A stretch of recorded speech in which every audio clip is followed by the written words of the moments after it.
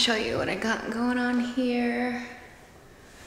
I have a YouTube video on. I'm trying not to cram. I have about 10 minutes left until my check-in time for Security Plus, for my Security Plus exam. And I am nervous. I just had some Panera and chatted with my boyfriend for a bit and have just tried to keep the day like calm. I do have plans for celebrating afterwards, like no matter what the outcome is. I'm trying to remove myself from the outcome and just be proud of myself for getting to this point of studying and scheduling and now taking Security Plus. And yeah, my last practice test I did this morning, early this morning, right when I woke up. I did the third practice test of Professor Messer and I got a 77%.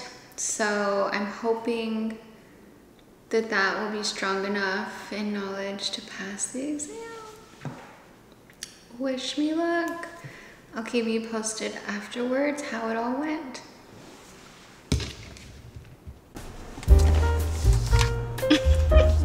It's a terrible angle.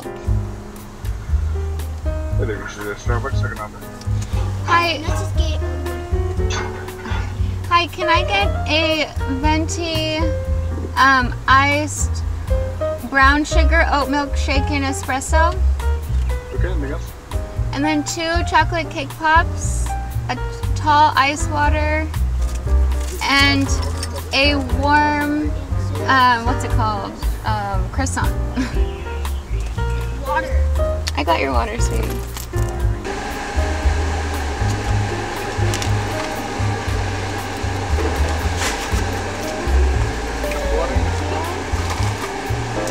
Um. You want a straw? You want straw or no straw?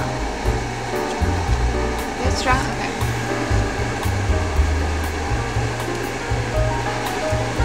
Can I also get um straws for both? Thank you. Chocolate cake pop. Okay, I'll give it to you. We're just gonna pull over here and then I'll give you the cake pop, okay?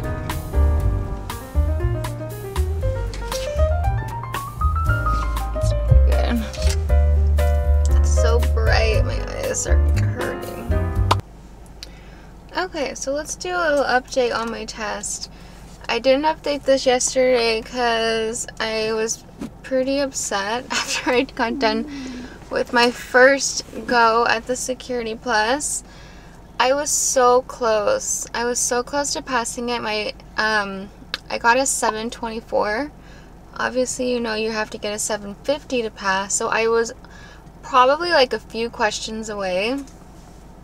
And I remember afterwards I was kicking myself for a couple hours because I kept teetering back and forth on like five questions and I went and checked all of them after and like my gut instinct on almost all of them would have been the right answer but I chose the wrong answer and I honestly think that like those could have pushed me over to pass it but you know what happened happened so I will be taking it again I want to still do it before the end of the month so I'm going to be taking it again in like two weeks. I'm just gonna go and brush up on some things. Luckily, I do remember most of what I tested on, so I kind of have an idea of like what I want to brush up on. Um, even though I'm sure the next exam is going to be entirely different, so I'll just study again. You know, just keep studying, keep going, and um, you know, hopefully next time I will see a pass at the end of the test. It's kind of like reinvigorated my excitement with cybersecurity. I think in my previous video, I mentioned that I may even be interested in going into like business analyst or um, I don't know, like data analyst or something like that. But um, I feel like I'm reinvigorated again with cybersecurity. I feel excited about it all over again after getting so close to finishing it and so close to getting like my Security Plus certification. Um, I went online and I started to like re-look at stuff like GovTech jobs and just kind of look at like what's possible. You know, like over the next couple years, um, I think it would be really exciting to start looking into going into like GovTech, um, which is a term that I see like Simone Bies look use a lot on Instagram. She's amazing. She shares so much information on going into GovTech online. I purchased her course. It has been just like a wealth of knowledge. That's something that's kind of like been on my mind is that like after I finish um, Security Plus and then also after I finish my degree, which I plan on finishing next term, then I'm going to start looking for jobs. Um, but yeah, I don't want to get too far ahead of myself. I'm trying to like reel it in and stay focused on just like finishing the Security Plus. I feel like I was surprised that I failed, to, to be honest, because Huh? It's good? Mm-hmm. Good. Make sure you're drinking water. The security, like, it wasn't so crazy as I thought it would be. It wasn't. Like, the questions are a lot more digestible than what you'll see on practice exams from, like, let's say, like Dion or Messer.